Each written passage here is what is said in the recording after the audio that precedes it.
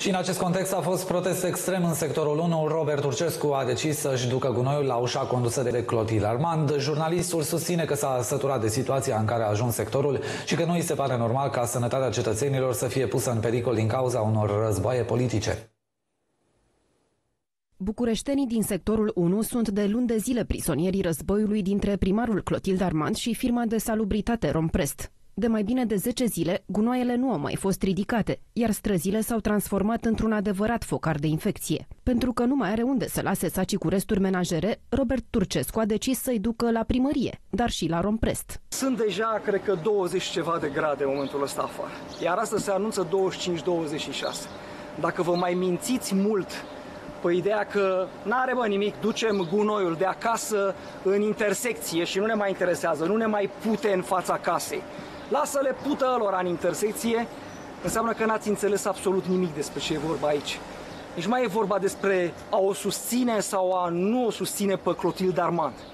Aici, Armand, vin la dumneavoastră la primăria sectorului 1 să vă aduc un sac de gunoi, după care merg și la sediul Romprest, le duc și lor un sac de gunoi. Pe toate străzile din sector sunt deja munți de gunoaie.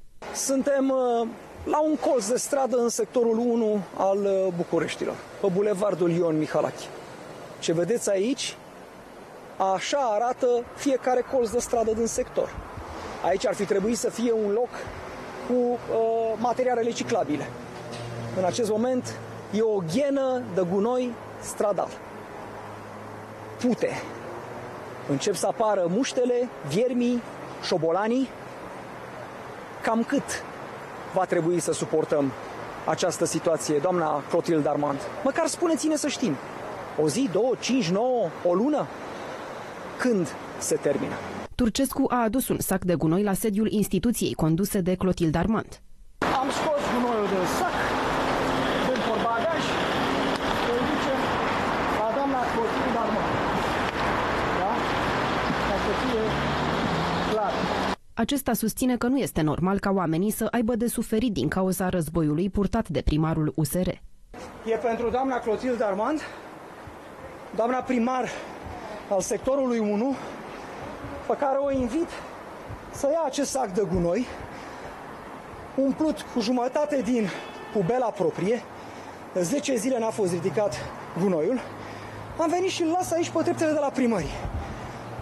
După cum vedeți, nu am aruncat gunoiul pe trepte, nu vreau să... Și invit pe toți cei care vor fi solidari cu astfel de formă de protest să-l ambaleze frumos, să nu avem discuții că am venit să murdărim orașul. Dar eu nu știu ce să fac cu gunoiul. Și refuz să fiu ipocrit, să-l iau de la mine și să-l pun pe stradă, pur și simplu. Da? L-am adus aici, mă mai duc cu un sac la Romprest, poate în felul ăsta le vine mintea la cap. Celălalt sac de gunoi a fost lăsat la firma de salubritate Romprest. Jumătatea cealaltă de pubelă pe care am golit-o în, în această ieri seară, mă rog, că le-am golit ieri seară, golida, astăzi le-am luat.